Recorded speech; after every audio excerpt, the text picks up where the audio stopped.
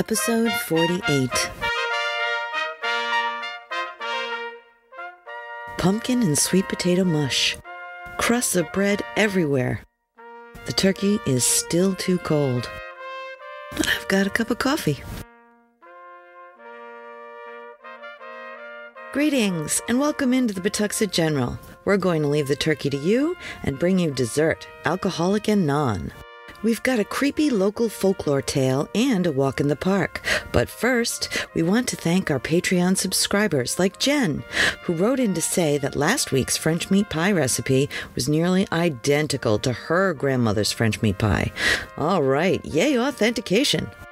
And thanks, Jen and Amy and the rest of our Patreon subscribers, who are the fruit, crust, sugar, and spices that make up the blueberry pie that is the Pawtuxet General, without whom we would merely be a glass dish. So thank you. First up, I have a poem from a book of college poetry called Hydra from Rhode Island College, circa 1960s. This particular edition was censored and then defended by Rhode Island College's chaplain, Father Maynard, who cited the censorship as suppressing academic freedom, mostly due to its questioning of the Vietnam War. My father and his friends were all featured in this controversial edition. Great writers all, but this is my dad's. I'll feature my adopted uncles in future episodes. This is my father's untitled account of his exposure to Joni Baez. Thank you, R. Watts, for the submission. It had begun to get cold when she finally came on stage. A soft onshore wind was fanning the salt smell through the stadium.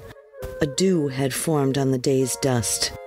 Mud lay in a thin crust on the ground that stuck to your bare feet in layers like damp flour. We squirmed a bit and hunched over a little more, whispering to each other that they had saved the best for last. She sang a Dylan song first, one of his romantic ballads, I think, and then swung into a rock and roll parody. After that, I lost track of what she was singing because I became absorbed by her voice and her expression. Her guitar was all around me, and I felt religiously intimate with the instrument and with her fingers. What impressed me most was her gentleness. I suppose it was then that she became a sort of Madonna thing to me that I've always cherished, even when three years later I saw her frugging on stage in front of 15,000 people. But now a fog was being wafted in, first in shreds and then like giant cotton balls. The fog gave her voice a mystical quality that I sometimes still hear when I'm close to the sea, and I could feel her fingers picking on my spine and raising goose flesh on my arms, and the music was coming as much out of me as out of her guitar. Seemingly hours had passed before she took off her guitar strap and made thank you gestures at the crowd and walked towards the wings. But the crowd roared its disapproval, so she came back to center stage. She was talking for about a minute and everyone started to get up. She played the first few bars of We Shall Overcome, and twelve and a half thousand people became one with her. When we finished singing all the verses, several of them made up right there on the spot. People began filing out, many humming softly to themselves, many just dazed, looking at the ground, for everyone knew instinctively that it was all over and that it was perfect and if we tried to prolong it any more, it would be strained. As we went out the gate, the double rows of cops searched us with their Inquisition faces, as if we carried contraband out of there or something. But you couldn't even hate the cops that night. Oatmeal toddy cake. Today's cocktail is a cake. Let me sum up. Think of it like spice cake meets fruit cake meets con leche cake with whiskey. Call me intrigued. This recipe is broken into steps, the ingredients as well, but I will remind you as we go through so that you don't get lost. This recipe was submitted to the Cape Cod Times by Mary E. Cummings. It seems to be the perfect Thanksgiving day after cake, just what you need to fortify you for all that cleanup. For the oatmeal toddy cake, you will need 1 cup of old fashioned oatmeal, 1 quarter cup all bran, 1 quarter pound butter, 1 and a half cup boiling water, 1 and a half cup flour, half a teaspoon of salt, 1 teaspoon of baking soda, a half a teaspoon of cinnamon, one quarter teaspoon ground cloves, one cup sugar, one cup brown sugar, two eggs, one quarter pound butter, three quarters of a cup sugar, one quarter of a cup evaporated milk, one cup flaked coconut, one cup chopped walnuts, one quarter cup whiskey, and one tablespoon lemon juice. Combine all ingredients in step one and let stand 10 minutes. Uh, that is the one cup of oatmeal, one quarter cup all bran, one quarter pound butter, and one and a half cup boiling water. Sift together all ingredients in step two and set aside.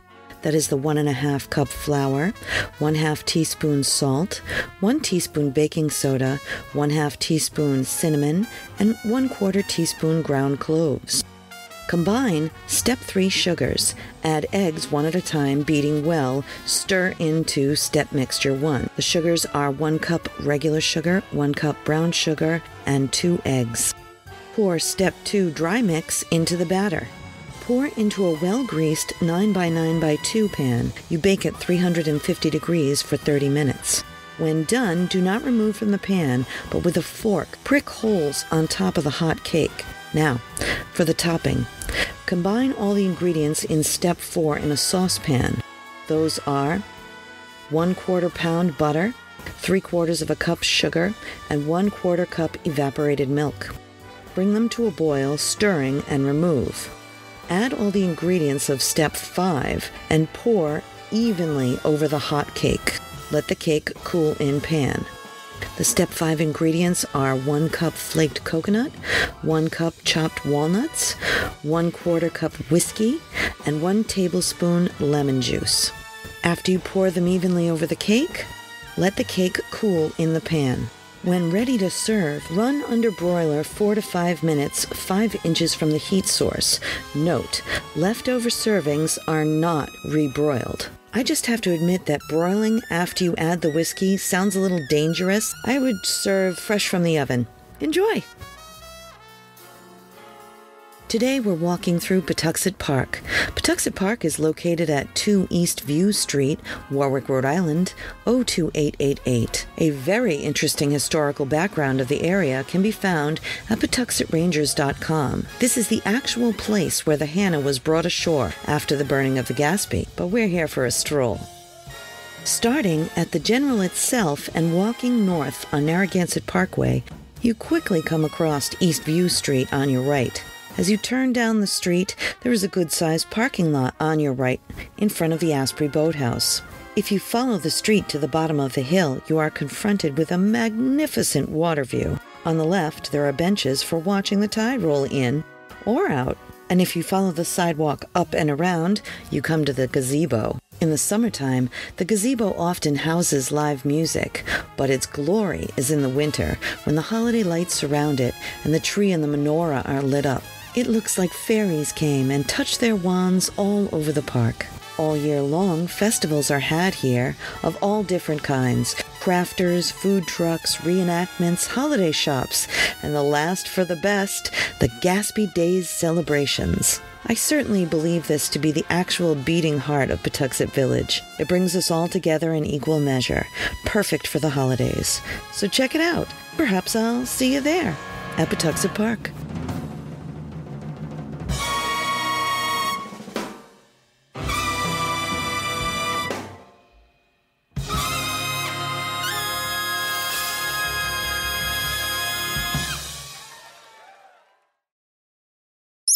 I want to tell you about my friend Mike and his electromagnetic pinball museum and restoration arcade. It's an all inclusive place to relax and share anything related to modern pinball, EM pinball, and arcade games. A group of pinball and arcade fans with an addiction to games of all kinds and Lego too. $10 gets you free play on pinball and arcade games all day. You can find them at 881 Main Street, Pawtucket, Rhode Island, or online at www.electromagneticpinballmuseum.com. I love blueberry pie. A pie so good it inspired a song by Bette Midler. It sounds just like the dessert tastes sweet, fresh, with just enough juice to barely be contained by the crust.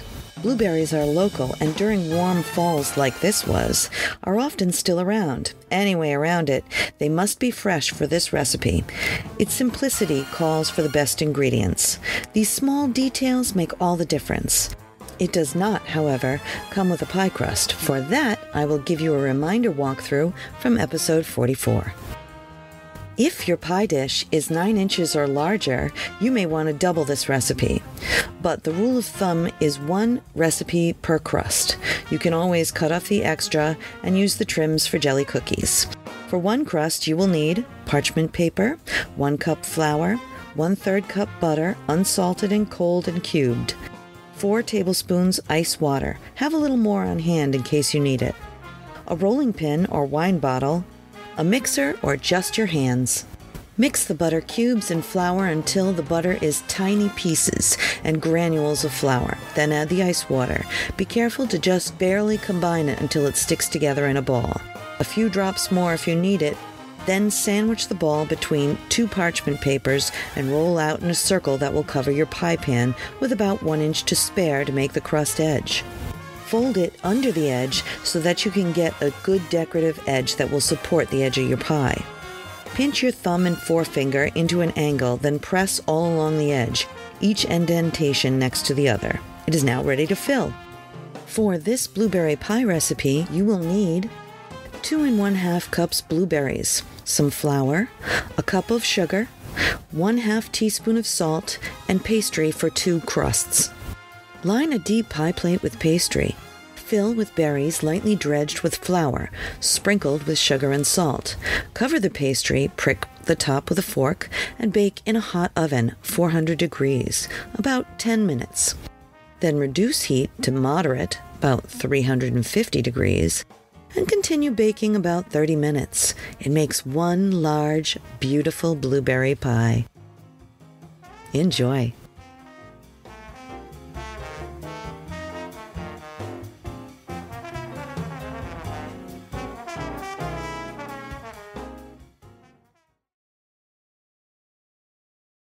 Stormalong and the Octopus.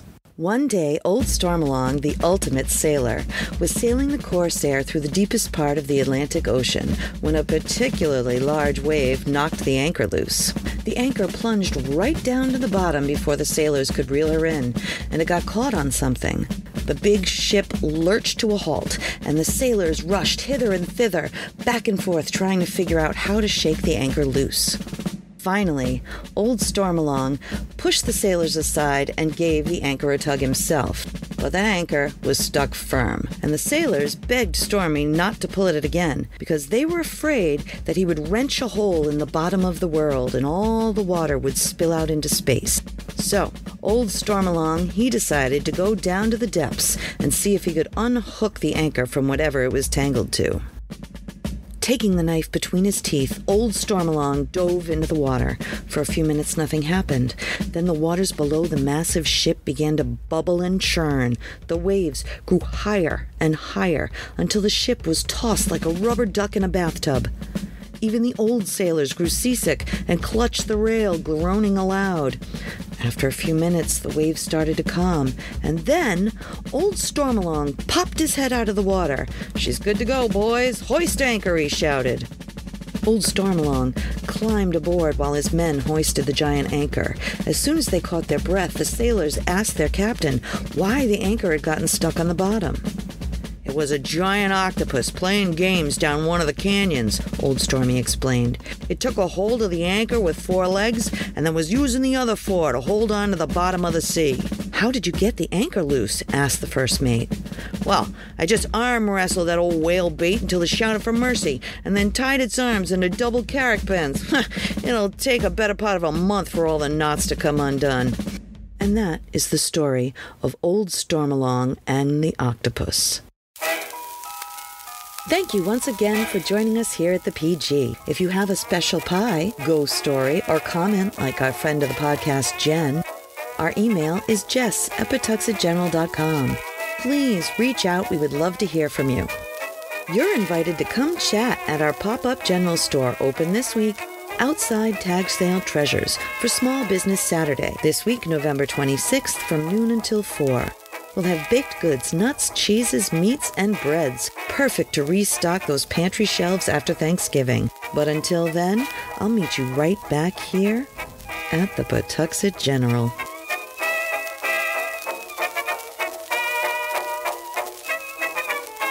A Something for Posterity production, pre recorded in Pawtuxet.